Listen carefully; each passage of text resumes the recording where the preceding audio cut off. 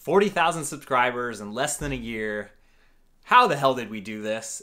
I always thought I could do it. I thought the videos were good from the start. You guys always commented from the start. You guys were finding it from the start, but you know, almost a year now. We're we're about 11 months in, 40,000 subscribers, a huge milestone. Every single week another milestone we hit together and I get to ride the best trails in the world because of you guys. Truly and deeply thank you so much for allowing me to become obsessed about something for once in my life. I always wanted to be obsessed about something. I always wanted to pour my life into something, and I finally found that something. And I'm so glad that you guys like these videos and that I can obsess about these videos and think about it constantly, work on them constantly, turn my entire life into this channel for you guys and for you guys to give back to me through all the different ways you do. It's really hard to imagine that I'm just talking to this camera right now, I'm just looking into this lens, but that I could be talking to, you know, more people in a baseball stadium from just this video and every time I do a video. And some videos are less, some videos are more, but some way, somehow, there's a connection. People like it, and I'm going to keep doing it. And there's so many ways to keep this going. You don't have to support on Patreon. I love you people that support on Patreon, that pay a couple bucks a month to support me. That really is the bedrock foundation of this channel. That is my travel budget. That is what keeps me going. But sharing the videos, liking the videos, putting on subtitles, anything you can do, or even buying a t shirt.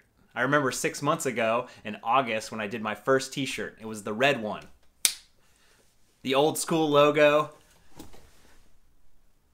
and it was a, a, complete success. I had 2,500 subscribers six months ago, and I sold a dang good amount of T-shirts, made a dang good amount of money that was able to be that spark to be like, okay, if I could sell 25 t-shirts that means i could do this and do that and start adding up and being like okay i could go to colorado. I could go meet up with uh, alexander and we could go ride. And all these things started happening because of this t-shirt and then a couple months later, of course, I did my Pain and Pleasure t-shirt that was such a cool evolution and uh, such a fun design. And of course, all this wouldn't be possible without teespring.com, which is a platform that allows me to do pre-orders. They print the shirts, they ship the shirts.